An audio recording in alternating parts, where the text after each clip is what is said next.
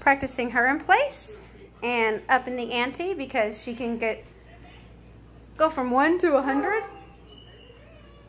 Go, Faye. one to a hundred when there's excitement going on, especially other dogs that are in fast movement, which has triggered um, partially her getting into trouble at daycare. One, she doesn't know how to regulate her energy. Two, she's used to that dopamine high.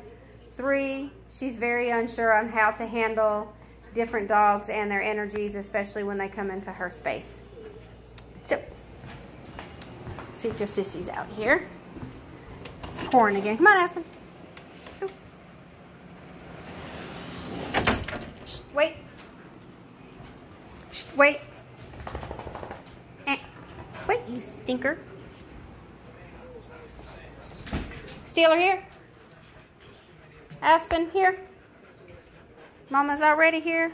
Whoa. Whoa.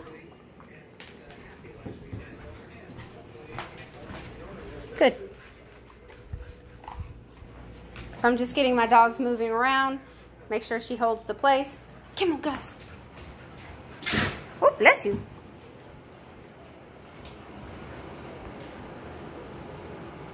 Siéntate. You got grass on your face. Yes, good. Good job. Here. All right, guys. Good job. Good job. He's a good Macie's.